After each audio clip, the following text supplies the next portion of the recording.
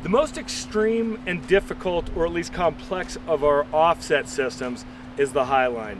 I would really recommend in the dynamics of the Highline that you watch some of our other training videos like our Highline and our Reeving Highline video.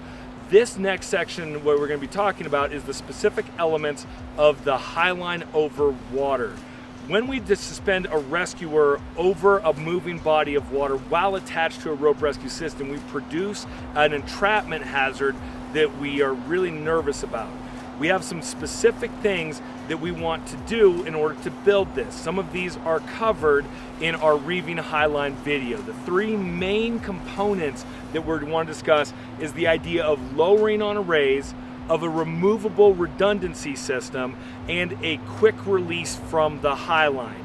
Now, what this video is going to cover is the specific drill that we do in Rescue 3 classes to cover the emergency release from a highline. This has very limited application and is a practical skill set, but teaches an escape from the system much like our strainer drill or our releasing off of our Type 5 PFDs drills will do.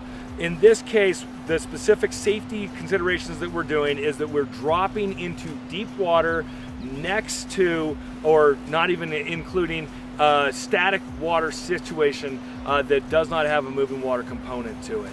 Uh, the moving water is that even though that's what we're training for, is a hazard that is beyond what we're comfortable dealing with inside of a Rescue 3 class. For the main attachment to the rescue package, we'll be using two ASAPs as we do on any reeving system with a single line.